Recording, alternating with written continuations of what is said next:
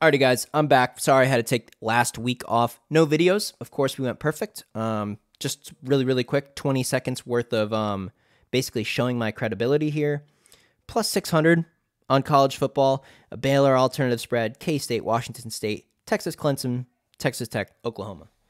Plus 598. Look at those check marks. So went perfect on college football and our big parlay. Good on NFL. Uh, we ended up going with Eagles Bengals money line parlay at plus 103. Hit that.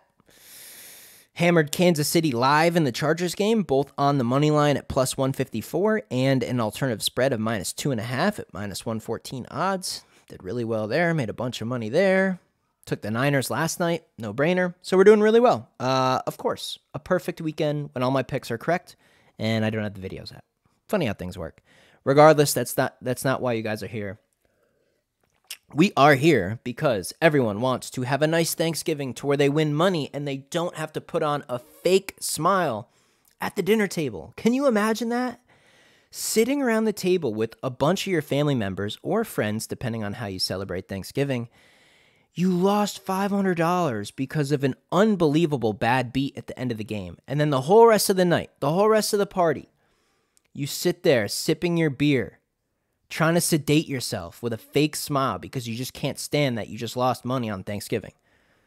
You know what? We're going to avoid that. I got the right parlay, guys.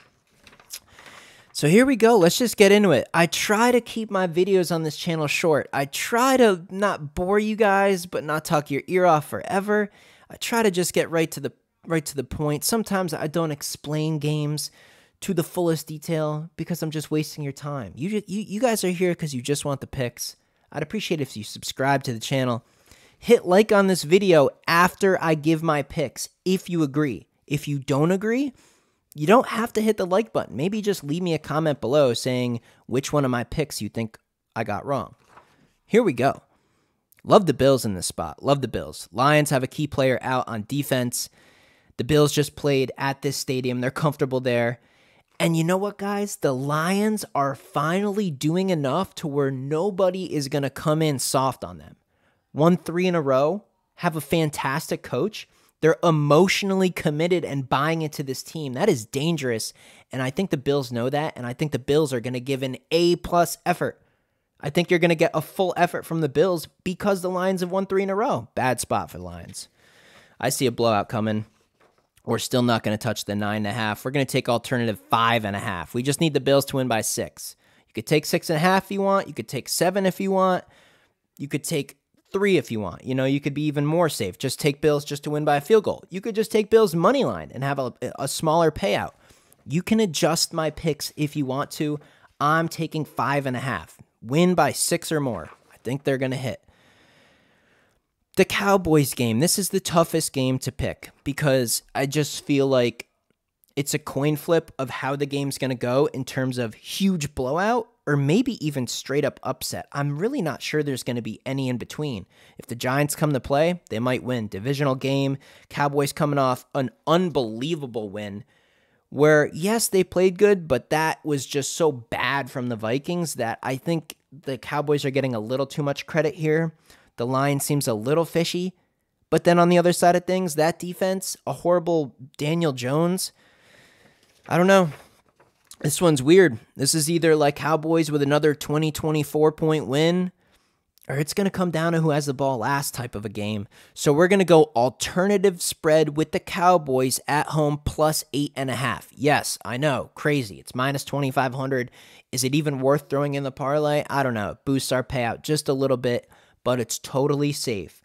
Even if the Giants come to play in Dallas and they pull this thing out, it's probably a field goal.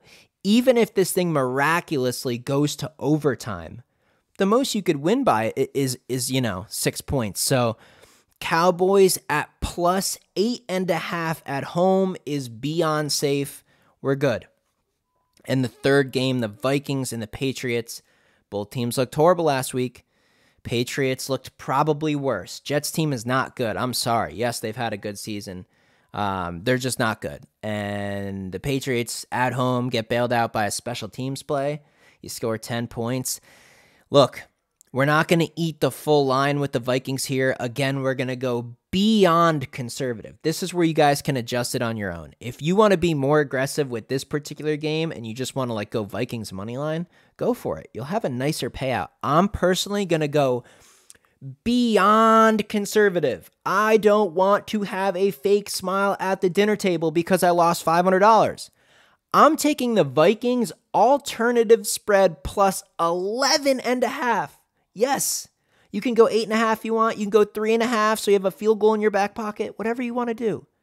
If you're confident in the Vikings, I'm taking 11 and a half to be beyond conservative. At home, after that embarrassing loss, maybe they do end up losing this game, but uh, 11 and a half, absolutely covering that. So that's what we're looking at. Bills minus five and a half to win by six or more. Vikings pretty much just to keep, you know, either win the game or stay within single digits. And then the Cowboys to at least not lose by more than a full touchdown. That's totally going to hit, and it's at minus 139 odds.